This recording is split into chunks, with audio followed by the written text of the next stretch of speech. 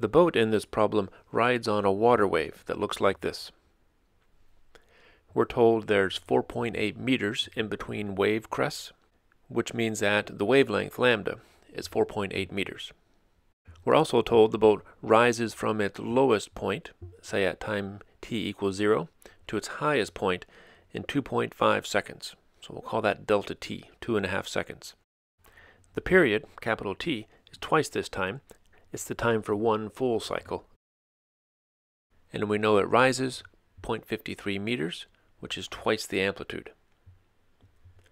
So in part A, we can solve for the wave speed, lambda times f, by rewriting as lambda over the period, substituting values, and calculating to see that the wave travels at 0.96 meters per second.